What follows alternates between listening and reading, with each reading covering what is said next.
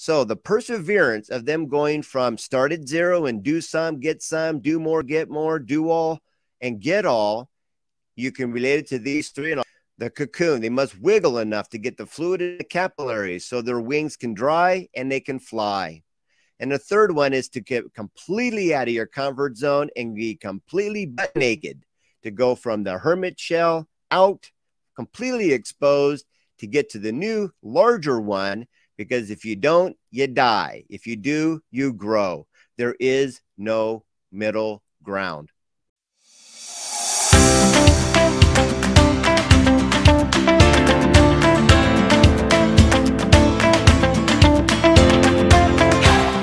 We're moving on to release attachment. Now, once you start to do the process, you see, and I'm just going to be touching on this real lightly but there's a physical umbilical cord, there's a emotional umbilical cord, and then there's a spiritual umbilical cord. The physical one's done when they celebrate happy trans or uh, happy birthday. They made it here in physical form, winning lotto ticket.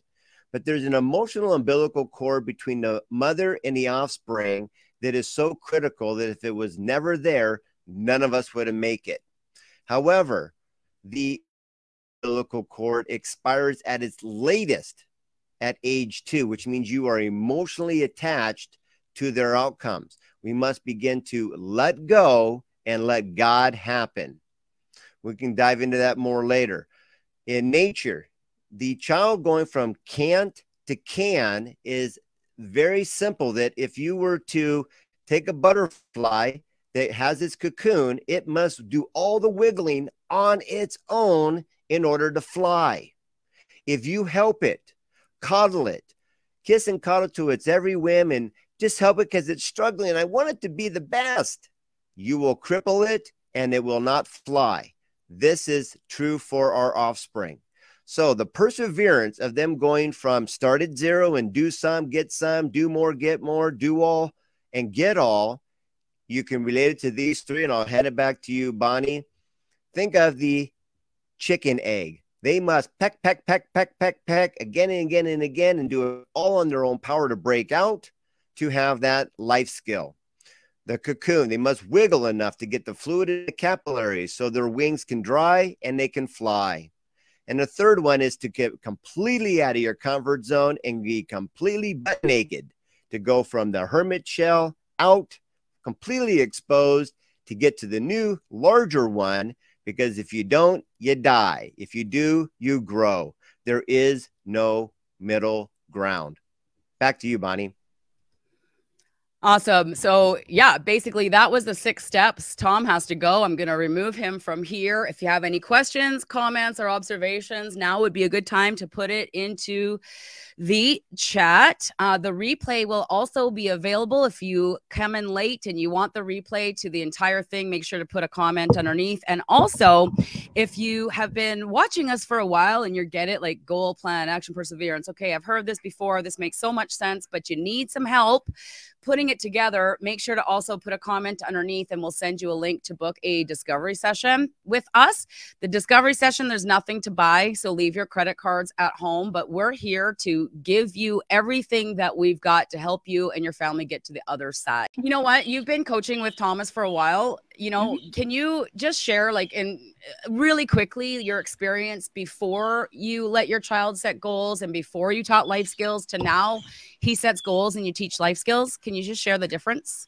Sure. I I felt like um, kind of like a tyrant and like a wolf in sheep's clothing because I wanted to be this um, you know positive parent and I, I got on that positive parenting train and I was going to be super nice and loving and we were going to have every day was going to be rainbows and sunshine and i was not prepared for any challenges or any struggles or any obstacles that came my way. A lot of bumps in the road and um, none of the advice that i was reading asking for um, was getting us through these hurdles and i felt like i was becoming the person i never thought i would be. And um, it was just a constant battle until I found CCFL and now we have plans and I see their goals and I have these um, these great opening eye-opening moments where i'm i'm not attached to those old emotions anymore. Oop, i lost you. Sorry, I'm muted out. Um, I was going to say, talk There you about the changes in the behavior of your children and if it's easier to parent this way, because it might seem like a lot, like, oh my gosh, like I have to make plans and I have to, I have to set goals and I have to do all of this stuff where really we're just used to going, get out of the car, you know, get to the car, we got to go. Is it easier or harder for you to parent this way? it's definitely like i think i, I caught the the tail end of like um of what tom did you hear that? I can do that. Um of what tom said about getting out of the shell and out of your comfort zone. So there are these periods of transition where it feels um, funky to just kind of get out of your old skin and into a new one. So it seems complicated but the but the formulas and everything are still so simple. So it's just getting used to this new skin and it's way easier. And you know when you when you come through the other side it's like oh this is it. You know this is where i wanted to be yeah, I have to say that too. Like as a mom, like Zachary is my 17 year old son. He was um, ODD, just like yours was um, at the same age, at seven years old. He was oppositional defiant disorder. He was diagnosed with ADHD. They literally had him in a behavior classroom with like three other kids in the class. Eh, I don't know. Like I, his life would not have been good um, without the creating champions for life. So now he's 17. He works full time. We have a really great relationship, and we're recording podcast episodes. So we're going to be airing those really soon. And yesterday he made note, like I wrote down some notes, and he goes, "Yeah, people talk about parenting, and it just like drives me nuts. Like what they think it would be good parenting. Like even his friends are talking about, well, when I'm a parent, it's going to be like this." And he goes, "It kind of like is really frustrating." He goes, "Parents should be the child's person." And the kid should be the parent's person. You should never feel awkward going, like being able to go to your parent to share something that you've experienced or gone through. And so we're going to podcast about that. But you feel like that you have this relationship now going on with your children? Oh yeah, I mean, um, my mom has made comments. You know, like we, we the way that we have a rapport with each other, um, especially Rowan, where he he can come to me and he's comfortable saying, you know, I did this or I'm thinking that, and that's huge. You know, and and I'm able to just be the sponge and listen and just, you know, be the person he needs to just hear him out. Yeah, awesome.